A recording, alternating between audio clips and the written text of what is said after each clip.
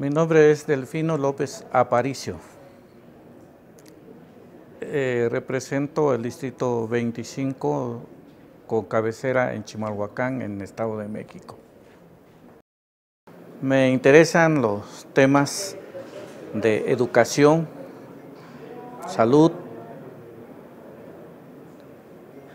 cuestión de los pueblos originarios y también sobre la agricultura.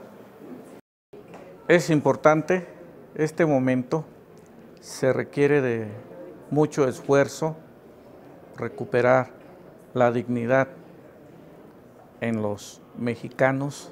Necesitamos trabajar arduamente para lograr la cuarta transformación